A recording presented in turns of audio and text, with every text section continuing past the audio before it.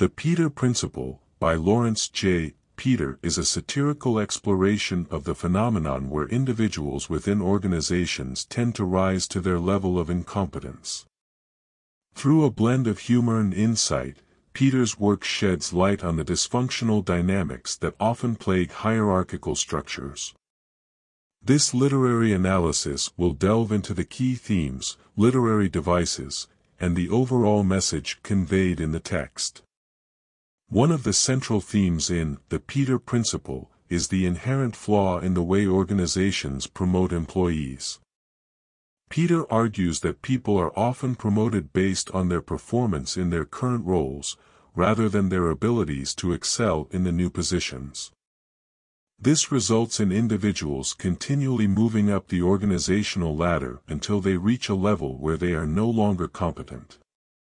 Peter humorously calls this phenomenon the final placement of an employee, where they remain stuck in a role they cannot effectively handle. This theme highlights the absurdity of organizational structures and their tendency to prioritize seniority and loyalty over competence. Peter employs satire to drive home his point, using anecdotes and examples to illustrate the consequences of the Peter Principle.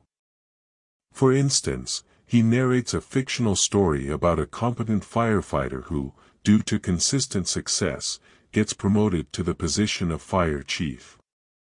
However, as fire chief, the individual's incompetence becomes evident as they struggle with administrative tasks and firefighting strategy. This humorous narrative underscores the absurdity of promoting someone solely based on their past performance, regardless of whether their new role requires different skills. In addition to satire, Peter uses hyperbole to emphasize the consequences of the Peter Principle. He suggests that organizations ultimately become pyramids of mediocrity, where incompetence is the norm. This exaggerated image serves to provoke thought about the real-world implications of promoting individuals beyond their competency levels. It also highlights the need for organizations to reassess their promotion criteria and consider factors beyond mere tenure.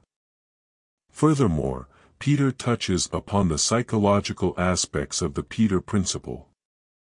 He explains that many people who find themselves in positions of incompetence suffer from feelings of inadequacy and anxiety. This psychological toll can have a significant impact on both the individual and the organization as a whole.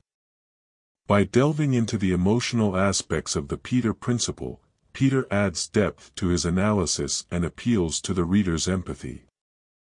The Peter Principle also indirectly critiques the bureaucracy and rigidity often found in large organizations. Peter suggests that these organizations tend to perpetuate the Peter Principle because they prioritize conformity and obedience over innovation and competence. This critique serves as a call to action for organizations to reevaluate their hierarchical structures and encourage a culture that values skill and adaptability.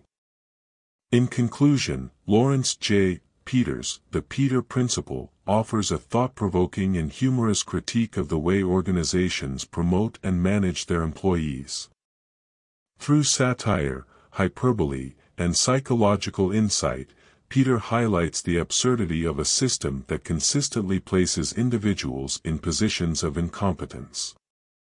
He urges organizations to reconsider their promotion criteria and embrace a more flexible and merit-based approach.